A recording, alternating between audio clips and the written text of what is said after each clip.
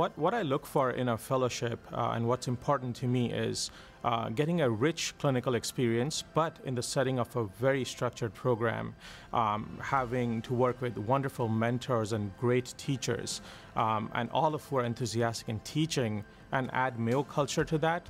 This makes the fellowship um, not only great, but it makes it exceptional, and um, that's the Mayo Transplant Nephrology Fellowship in Arizona. I remembered uh, when I interviewed here, what struck me the most was not the uh, sheer amount of the uh, transplant that we performed, but the complexity of the cases. What is like rare and exciting, like uh, that you see maybe quite a few times in other places, but here it is very common. When complexity becomes such a routine thing, it makes you perform as an independent physician. Our goal here is to create the next generation of leaders in transplant nephrology who can carry on the Mayo legacy. We have an incredible uh, team of dedicated faculty who are really invested in, in the fellow education. We foster an environment where our fellows have an opportunity to excel in all three Mayo Shields, be it achieving excellence in clinical care, be it performing impactful clinical research, or excelling as an educator.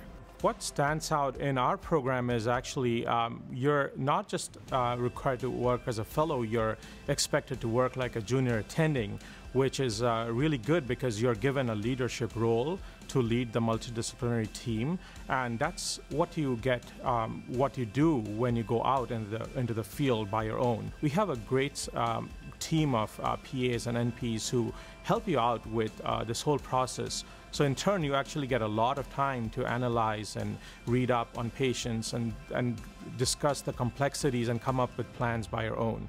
So that's something that I really think uh, is one of our big strengths. So what is the uh, most uh, attractive thing about the program here is about the people in the Mayo Clinic, and then you are you know in the uh, as a fellow like you have your co-fellows and also your surgical transplant fellows and then the hepatology fellow all together in one place and then you know and then so the bond that you get with them like is very precious and then you got to learn also from them like uh, in different aspect of the cases.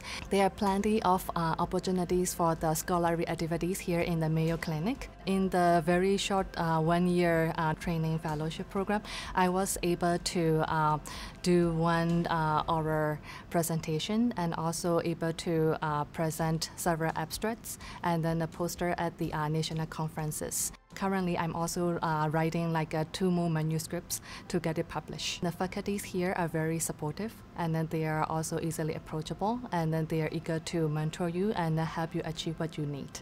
It's a fifth largest city, but it doesn't feel like it's very crowded because um, it's everything is so spaced out. Uh, there's free parking, uh, in most of the places. Um, and, and the biggest thing about Phoenix is uh, it, it's a medium-paced city. It's not too fast, uh, and, and but there's enough things to do when you want. If there's outdoors things, and and a lot of hiking and other outdoor activities. There's golfing, um, and and the biggest I think uh, my favorite part of Phoenix is the weather. Uh, it can get a little hot, but that's just you know, a month or two of the entire year, um, I never have to wear a jacket. Phoenix is thriving in food and also the arts scenes.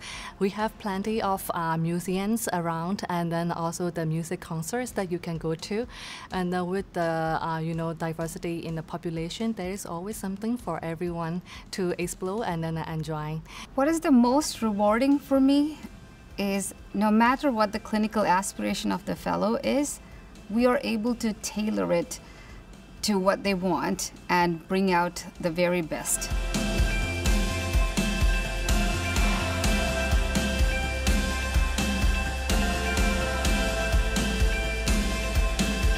Thank you for your interest. I would love to see you training with us.